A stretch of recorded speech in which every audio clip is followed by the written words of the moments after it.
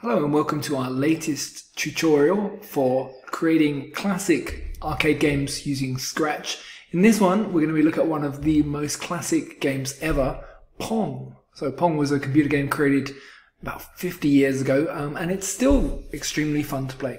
So after watching this tutorial, you'll be able to play this game here. Okay, and it's lots of fun. There you go.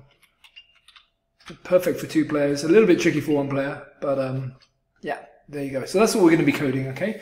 How do we go about that? Well, watch carefully. So you click the create button, okay? And then what you'll need to do is get yourself the following sprites, okay? So you'll need a sprite for each of these paddles, okay? That'll be the same sprite duplicated, and then a ball, okay?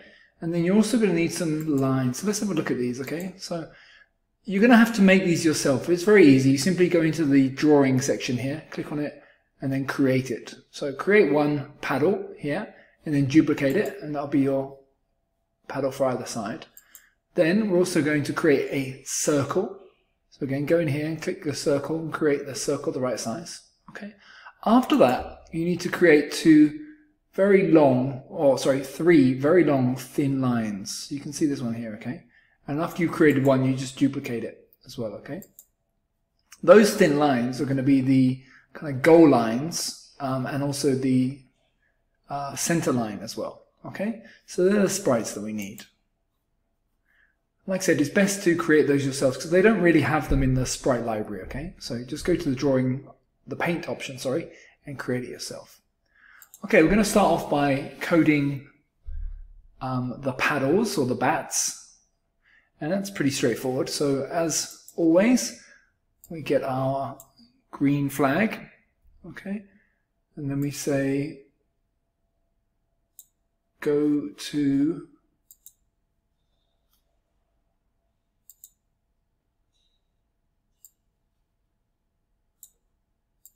actually want this to go to uh, zero, so it's right in the middle. Okay, so let's have a look at what happens when we do that. Okay, good, yeah. So right in the middle there. Okay, actually you can make it 225, might be a little bit better. Minus 225, let's do right on the line then. Okay, great.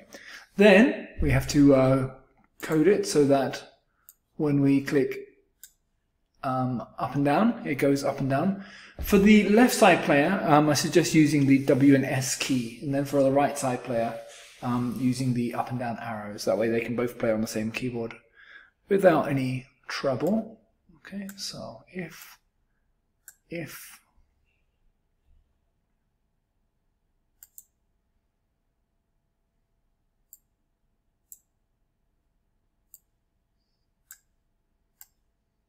Okay, so we'll use uh, W for up.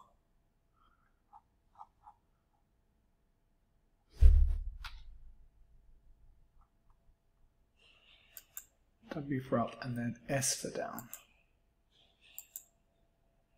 Okay, good. And obviously that changes. So we go back to motion. Um, motion, yep. Change Y by 10. And then change Y by minus 10. Okay, so we've done the first one. Let's just make sure that's working before we do anything else. Click play. Yeah, W and S, there you go. It's working absolutely fine. Okay, great. Okay, what we can do now is, as we've done the code for the first one, we can actually copy the code over to the second one.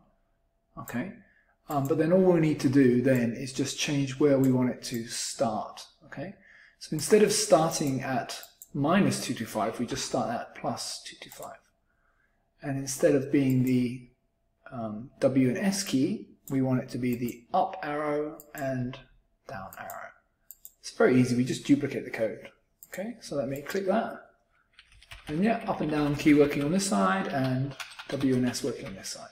Okay, great. Now let's move on to coding the, the ball. So there's a little bit more code to do in this one. Okay, a few more things that we need to add. Okay, so what we're going to do on this one, we're going to code five things First thing is um, just the general bounce of the ball, bouncing the ball around. Second thing is going to be uh, what happens when it hits the bats. uh, second and third thing, that is. And then the last thing we'll do is um, when the ball goes out. Okay, so the general coding of the activity. So we're going to start, go to, start right in the middle, go to 0, 0, um, point in the direction, yep. So we'll point it straight towards uh, one of the uh, players, we don't make it too difficult at the moment. And then just start moving, okay? And then after that, we're going to let the kind of the bounce of the ball determine where it goes. Okay?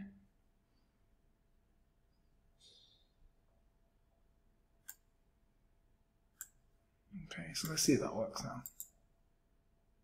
There we go, it's bouncing around, bouncing around. Okay, good. Right.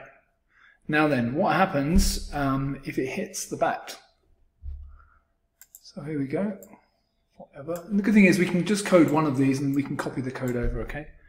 So forever if touching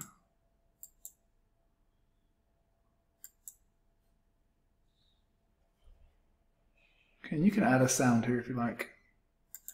I think it's kind of fun to add a sound to this one. Oh yeah, good. I've got my, so I already added the sounds here, the in sound, the out sound, and the loose sound, again, the pop sound. So, um,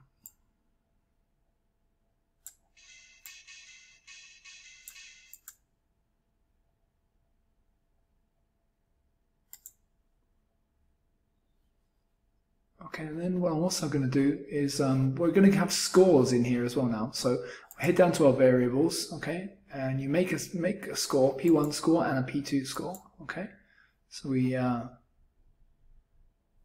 keep track of how they're doing. Okay, and if it goes to this one, then I will increase the. Oh, I need to move those around. Okay, P1 and P2. Okay. So if this player hits the ball, then he gets a increase his score by one point. And then we'll just wait a second after that. Or half a second. Okay. This is the code for this one, okay? And then what I'm just going to do is duplicate this and uh, put it over here, okay? And that's exactly the same, except we just change it from straight sprite 4 to sprite 5, and we change the score from P1 to P2. Okay, now let's see if that works now.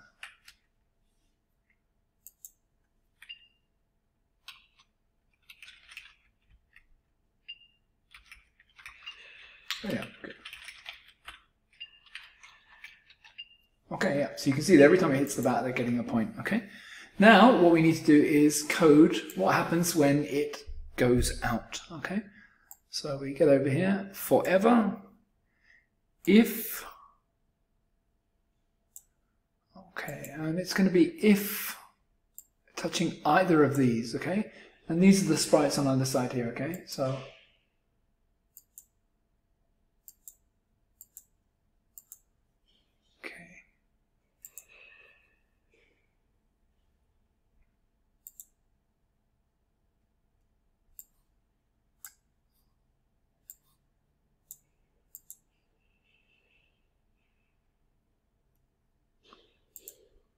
sprite 2 or sprite 3. Okay, and if it touches either of those, then it's game over, okay? End all, stop all. Yeah. Okay, I think we're pretty much done already. So you see, very straightforward. Okay, it bounces up, gets a score. What happens if I miss it? Game over. There you go. Nice and easy, an absolute classic game, easy to code and an awful lot of fun. And of course, you can, um, you know, you can uh, make it a bit more difficult by speeding up or, um, you know, adding different things, so changing the direction which it bounces and what have you. Um, when you finish, remember to write the name of it. This is a classic